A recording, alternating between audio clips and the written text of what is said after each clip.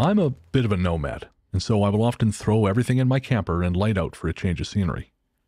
Until this particular night in a parking lot in Nevada, nothing strange had ever happened to me. At the time, it was late, and I was inside my camper trying to bed down for the evening. I was parked in a lot on the outskirts of a small city near to the mountains. The freeway was nearby, as was the airport, so even though the lot was relatively empty, I didn't exactly feel isolated. About an hour after tucking in, I heard what sounded like a terrible feminine scream. These reverberating, disembodied noises. At first, I figured that while it was a little unnerving, it was probably some animal being amplified or altered by road noise and acoustics. It stopped soon enough, but I was intrigued and tried setting up my phone to record. Unfortunately, the microphone wasn't able to pick up anything. This makes me think I was just dreaming for what happened next, but I remember being pretty alert and able to move, wiggle my feet, and so on. Maybe 30 minutes later, I heard the sounds again, but they went on for much longer, a half hour or more. I began to wonder if they were coming from the trailer next to me. I stayed put.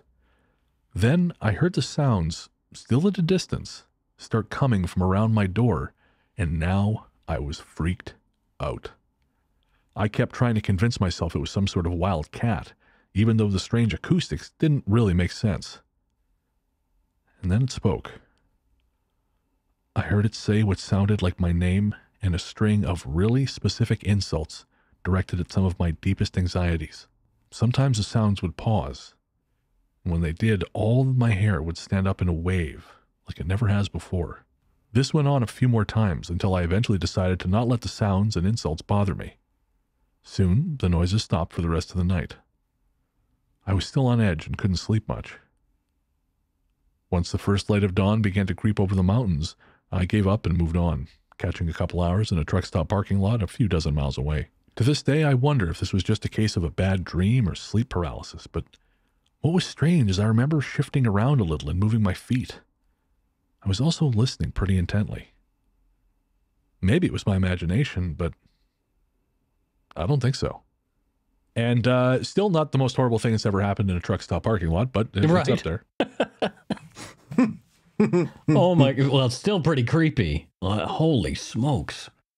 Uh, yeah, I've I've heard some strange things in parking lots. I've slept in parking lots uh, when I was traveling across the country. It was only two nights essentially. I slept um, in like a rest stop parking lot, and I you hear strange things in strange places, but I never heard anything saying my name and and talking about uh, how fat I am or any of that kind of stuff. Yeah, right. I, I like. Thanks, disembodied voices. I can give myself enough shit. I don't need the help. Yeah, right. Actually, I, I will say though, I think that that's something that would not work on me, because while I I will sabotage myself from now until the end of time, uh, other people cannot do it for me. So like, it, unless it's someone I really care about, your opinion is just irrelevant to me. But uh, you know, if it was my voice, maybe like, man, you're not really very good at your job, are you? Oh shit, you know that would that, that might get inside my head. Well, that is inside my head. So, Yeah, mine too. Mine too. yeah. Bit of imposter syndrome. But yeah, never an external voice like that. That is really scary. I, I kind of thought at first I was thinking maybe like a wild animal, you know, like uh, because there, there's what is it? Not a fox, but something like that. When it screams, it sounds like a woman screaming. Cats can do that. If you've ever been woken up by a cat at 3 a.m. in the morning, that's good. I mean, foxes screaming. We hear them round here all the time. My goodness. If you didn't Maybe know it's what they foxes were, I'm thinking of. Mm. they are terrifying. You can hear them for ages. So either when they're mating or when they're sort of playing, they make tons of racket. Um, owls I do used- as well. Owls can screech like like a banshee. I used to live next door to an oil refinery in Burnaby, British Columbia, and uh, and so at night we would hear uh, there were coyotes that lived on the property over there, and they would one would start yipping, and before you knew it, th- there was this howling cacophony of of uh, coyotes, and n- you did not get any sleep once the coyotes were doing whatever they were doing. It it was so so eerie to hear, and it was like uh, you never knew when it was going to happen, but it was always at an inopportune time. it's kind of crazy to think that you can have populations of animals like that in an urban place like Surrey or sorry Mhm. Burnaby. Hmm You know, we, I, I think we always forget that these things are, are a little more, I guess, in keeping our, with our theme of of you know dangerous Canadian animals. Hmm. Um, yeah, you just forget that these things can actually just be out there. You know, it's yeah, who's uh, encroaching on whose territory, really? yeah, You know, like I, I was reading that Toronto is having a real problem with raccoons. They've more or less given up. Japan is Japan is struggling with bears right now. Like there are urban areas where in Japan where bears are wandering in to uh, different places and and at- having bears attack human beings who confront them or surprise them or something like that. So on the Japanese news, somebody sent me an article uh, of the Japanese news doing a how to prevent bear attacks with one of the reporters dressed as a bear with just a bear hat, like a, a mask on, you know, pretending to be the bear, and the other reporter showing this is what you should do, kind of thing, if you're ever attacked by a bear. And now, if this was an '80s movie or an '80s Mm-hmm. uh, comedy, that guy would then be humped by a bear. Right, right, Actually- definitely. What what movie does that happen in, Paul? It was a movie you told me about. It's a gorilla. Oh, that's trading places. Trading places. right. That's it. Yeah, yeah, yeah, Mm-hmm. The uh, the guy gets locked in the cage with the amorous gorilla. That's the one. That's the one. Mm. It was a different time. Me too, gorilla. Me too. Oh man. Yeah.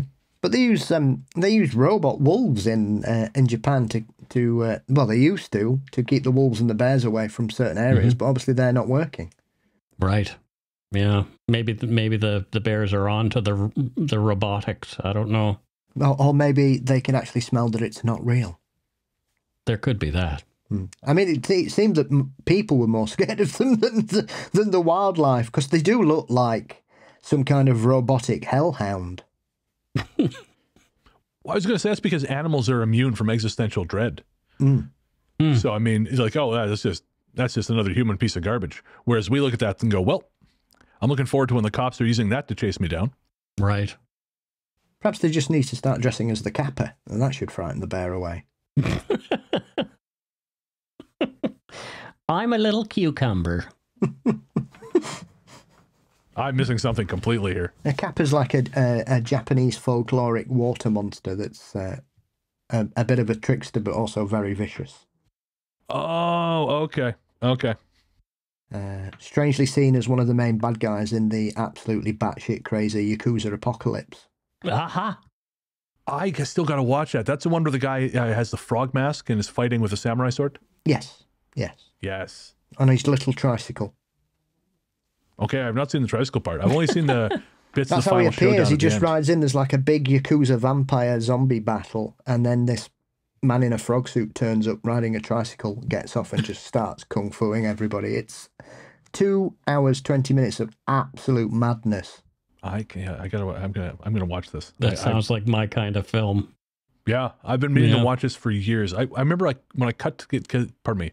When I cut together the trailer for that frog movie we did for Movie Nightish, I used I used clips from Yakuza Apocalypse, but I I did never actually got around to watching the whole thing. Yes, yes. The the Ray Milland frogs film where the, everything attacks them apart from frogs in the last scene. Yeah, the frogs just sort of turn up after everyone's already done the job. that is such a bizarre movie. Like, wh- why even call them frogs? I don't understand it. Just My cousin- such a. My cousin Jerry's got a whole truckload of frogs. You want you want to use them for something? Strangely enough, I stumbled into 10 minutes of Food of the Gods again the other day and just laughed as uh, giant rats seem to take an incredibly long time to eat people. Well, that's I I don't know how you keep stumbling across this film. I it, th- this is not how television works in North America.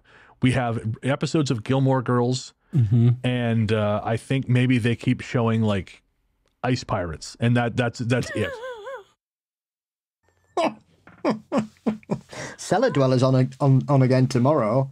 I've never seen that film for 30 years and now it'll be twice in three months. You magnificent son of a bitch. You brought up Ice Pirates, and I met uh, Robert Urich when I used to do security at a high end high end uh, hotels um, here in Vancouver. I met all kinds of people, but Robert Urich was a guest uh, before he obviously before he passed away. But um, he uh, was telling me that he was off to Italy after filming the movie that he was doing to take a uh, a cooking course from some famous chef. I can't remember the guy's name, but Oh wow. but that was one of his hobbies. I used to just chat all these guys up just for fun, you know. Like Christopher Walken came out one time. He was going to go for a run, uh, and he was he was wearing you know a black sweatshirt, but he, he he was wearing just regular slacks that were too short for him, and and loafers and a hat.